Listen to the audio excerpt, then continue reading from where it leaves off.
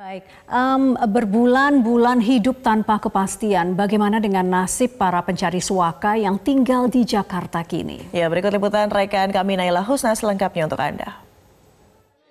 Jika para anak-anak imigran di Provinsi Riau, sebagian dari mereka sudah disekolahkan oleh Dinas Pendidikan setempat, berbeda halnya dengan para imigran yang berada di Jakarta, tepatnya di Exkodim Jakarta Barat ini, pemirsa bisa Anda saksikan di belakang saya, mereka sedang melakukan kegiatan sehari-harinya, ya mereka membaur bersama dari para pengungsi yang terdiri dari anak-anak, kemudian laki-laki dewasa, dan juga masih banyak para pengungsi perempuan yang ada di arena dalam, arena di belakang sana. Mereka melakukan kegiatan mereka sehari-hari.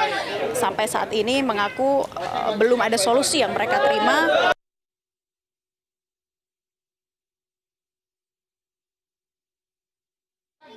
Ya, jika para anak-anak imigran di Provinsi Riau, sebagian dari mereka sudah disekolahkan oleh Dinas Pendidikan setempat, berbeda halnya dengan para imigran yang berada di Jakarta, tepatnya di Exkodim Jakarta Barat ini, pemirsa bisa Anda saksikan di belakang saya, mereka sedang melakukan kegiatan sehari-harinya, ya mereka membaur bersama dari para pengungsi yang terdiri dari anak-anak, kemudian laki-laki dewasa, dan juga masih banyak para pengungsi perempuan yang ada di arena dalam, arena di belakang sana. Mereka melakukan kegiatan mereka sehari-hari. Sampai saat ini mengaku uh, belum ada solusi yang mereka terima mana seharusnya dan bagaimana akan arah dari masa depan mereka. Sebetulnya yang mereka inginkan tinggal di Jakarta atau pergi ke Indonesia adalah bisa mendapatkan pekerjaan sehingga mereka bisa mendapatkan rumah tinggal dan juga menyekolahkan anak-anak mereka. Sudah lebih dari tiga bulan, para pencari suaka yang berasal dari sejumlah negara konflik menempati penampungan Ekskodim Kalideres, Jakarta Barat. Beberapa waktu lalu, para imigran ini sempat kembali memadati area trotoar di sepanjang Jalan Kebon Sirih, Jakarta Pusat, tepatnya di depan kantor UNHCR. Namun, mereka kembali diangkut menggunakan bus Transjakarta ke tempat penampungan Ekskodim Kalideres, Jakarta Barat. Ya, seperti inilah suasana atau kondisi dari uh, para imigran yang bertempat tinggal di sini di penampungan Ekskodim Jakarta Barat. Aulanya dipenuhi dengan tenda-tenda dan memang udaranya kalau bisa saya katakan di sini uh, cukup panas begitu ya. Pengap dan kekurangan air bersih serta kalau malam tidak ada listrik pemirsa.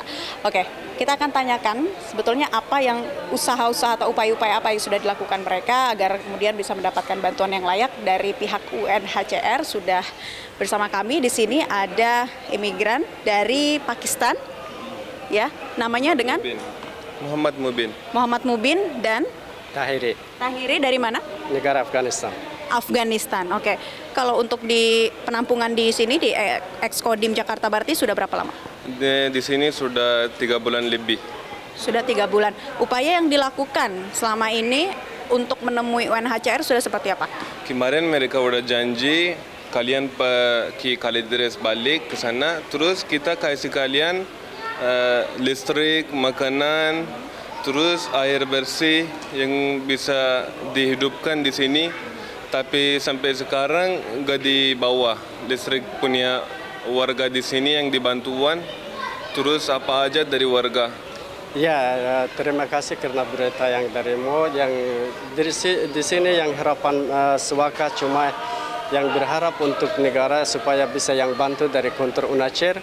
Tapi yang semua suaka yang sudah hampir empat bulan di sini, saya yang waktu sudah berangkat dari negaraku sampai sini sudah di 2014 bulan Februari ini sudah enam tahun.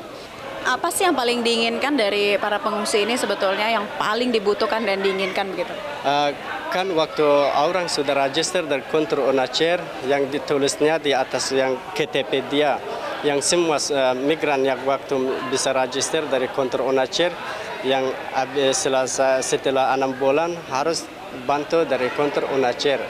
Semua yang migran butuh yang sebulan bantu uang, yang bantu tempat, makanan, tapi sampai sekarang belum ada yang bantu-bantuan dari kontur UNHCR.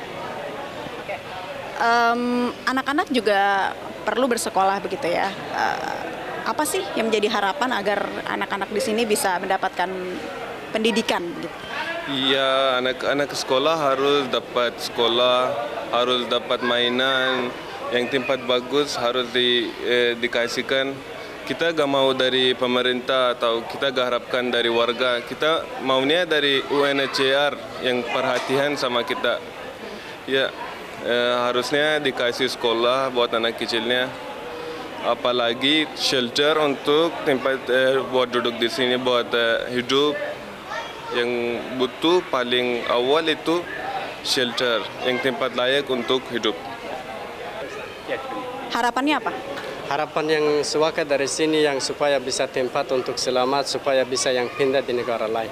Tapi sampai sekarang orang tidak bisa yang uh, migran kerja di Indonesia.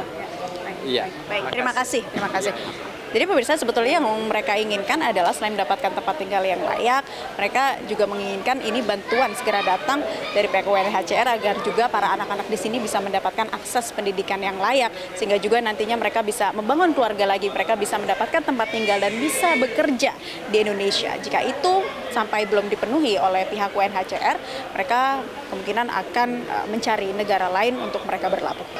Dari Jakarta, Nela Husna, Agustin Lawrence, Metro TV.